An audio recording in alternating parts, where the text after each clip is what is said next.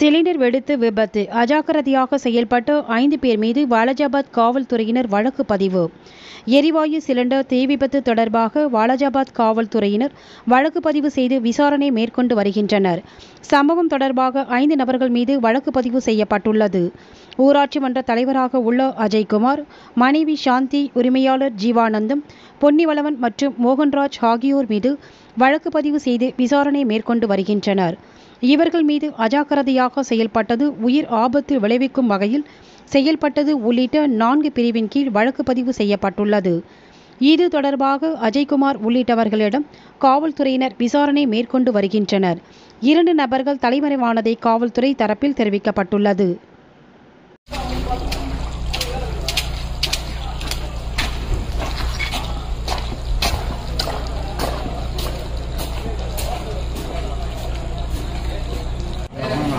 頼む